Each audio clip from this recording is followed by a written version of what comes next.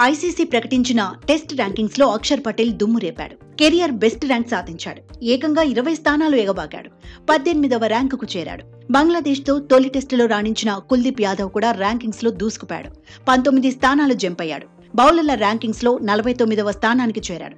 తొలి టెస్టులో నూట పదమూడు పరుగులు ఇచ్చి ఎనిమిది వికెట్లు తీయడంతో కుల్దీప్ యాదవ్ ర్యాంక్ మెరుగైంది. బుమ్రా అశ్విన్ మాత్రం టాప్ ఫైవ్లో కొనసాగుతున్నారు. బూమ్రా నాలుగో ర్యాంకులో నిలిచాడు.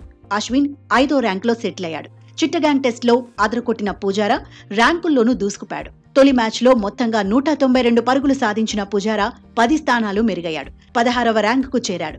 కెరియర్లో తొలి సెంచరీ సాధించిన శుభ్మన్ గిల్ కూడా పది స్థానాలు ఎగబాకాడు. యాభై నాలుగవ ర్యాంకుకు రీచ్ అయ్యాడు బంగ్లాదేశ్తో తొలి టెస్టులో శ్రేయస్ అయ్యర్ ఎనభై ఆరు పరుగులు సాధించాడు. దీంతో పదకొండు స్థానాలు మెరుగయ్యాడు.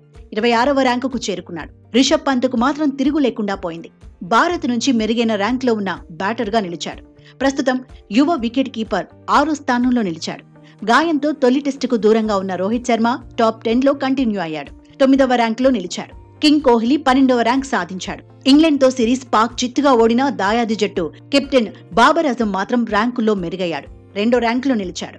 ఆసీస్ ప్లేయర్ లబుషైన్ టాప్ ర్యాంక్లో కంటిన్యూ అవుతున్నాడు. ఆసీస్ మాజీ కెప్టెన్ స్టీవ్ స్మిత్ మూడో ర్యాంక్లో ఉన్నాడు. ఆల్రౌండర్ల జాబితాలో టీమిండియా ప్లేయర్ల డామినేషన్ కొనసాగుతోంది. రవీంద్ర జడేజా అగ్రస్థానంలో ఉన్నాడు. రవిచంద్రన్ అశ్విన్ రెండో స్థానంలో నిలిచాడు. మూడో ర్యాంక్లో బంగ్లాదేశ్ కెప్టెన్ షకీబుల్ హసన్ సెటిల్ అయ్యాడు. నాలుగో ర్యాంక్లో ఇంగ్లాండ్ కెప్టెన్ బెన్ స్టోక్స్ నిలిచాడు.